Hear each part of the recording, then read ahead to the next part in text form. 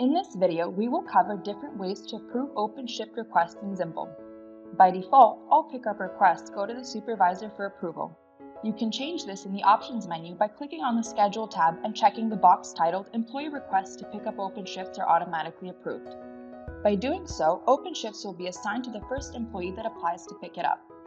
To review pickup requests, you will need to enter the Request section by clicking on the button in the upper right corner. You can view all your requests by category in this section. Choose Pickup Request from the filter in the upper left corner. To approve a request, click on the checkmark icon, and to reject it, click on the X icon next to it.